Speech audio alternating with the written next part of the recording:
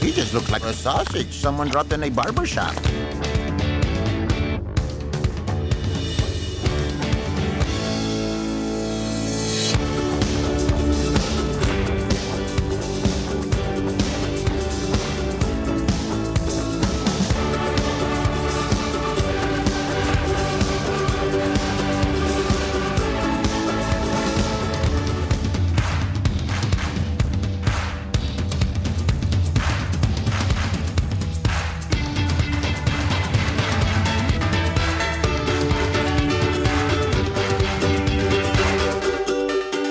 Ready and action.